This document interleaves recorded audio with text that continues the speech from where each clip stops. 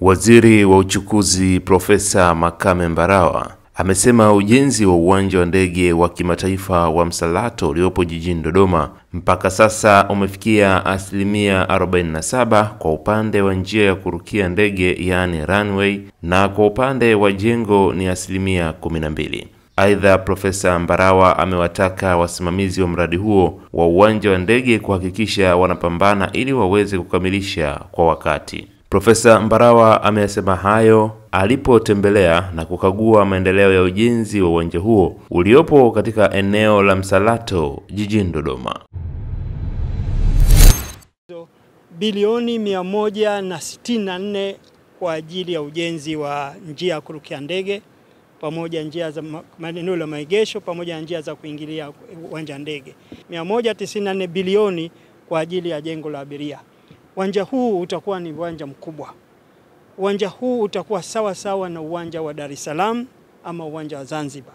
Uwanja huu wenyewe una urefu utakuwa na urefu wa kilomita 3.6.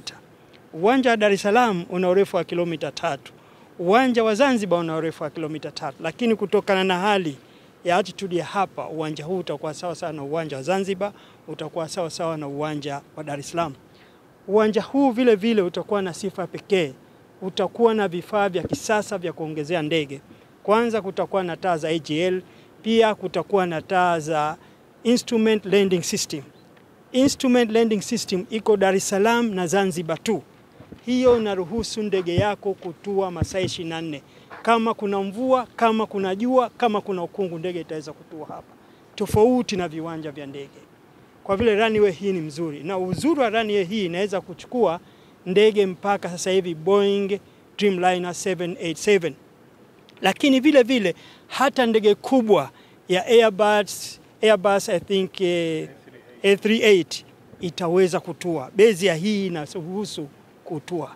Tukitaka iweze kuendelea kutua, kwa mfano Airbus A380, lazima tuongeze shoulder kidogo, ambayo hiyo ni jambo dogo sana, lakini bezi yenyewe inaruhusu ndege hiyo kutua bila wasiwasi. Kwa upande wa majengo, tumetoka pale, jengo lile litakuwa na uwezo wa kuchukua abiria milioni moja nukta tano kwa mwaka. Tukenda kwenye control tower, wataalamu walikuwa wananiambia control tower ile itakuwa na urefu wa mita 56 sawa sawa na gorofa karibuni 16.3 tulikuwa tunapiga hesabu pale. Kwa vile uwanja huu utakuwa uwanja mzuri na uwanja wa kisasa niombe tu wanaopata fursa ya kusimamia mradi huu tusukume sana mradi huu uweze kumalizika kwa wakati. Tumekubaliana kwamba mradi huu umalizike mwezi Mei mwaka 2025, hasa ule wa jengo. Runway itakuwa imemalizika, lakini jengo ikifika wakati huo uwe tayari umemalizika. Tunaamini tukijipanga na tukisimamia vizuri, mradi huu utamalizika kwa wakati, kwa sababu hakuna shida hela, fedha iko na utakuwa mkandarasi apige atoe certificate tuweze kumlipa. Najua kuna changamoto nyingi za mvua, sasa hivi kuna za mvua, pengine mkani kutakuwa na mvua, lakini nataka tutengeneze program yetu ambayo itatuwezesha kumaliza mradi huu kama tulivyosema mwezi Mei mwaka 2025. Mimi nichukue fursa hii kuishukuru sana TANROADS kwa kazi kubwa mnayoifanya kusimamia mradi huu. Nichukue fursa hii vile vile kuishukuru sana TAA, najua kila mara wanakuwepo na wao kuhakikisha kwamba watakuja pewa uwanja wa ndege ambao wataweza kutumia kama ilivyopangwa. Mwisho kabisa, kama nilivyosema, nishukuru sana serikali ya mkoa. Serikali ya mkoa inafanya kazi kubwa kuhakikisha kwamba mradi huu unafanya unatekelezwa bila matatizo yoyote. Nimekuja kutembelea na nitakuja tena baada ya miezi kama miwili mitatu.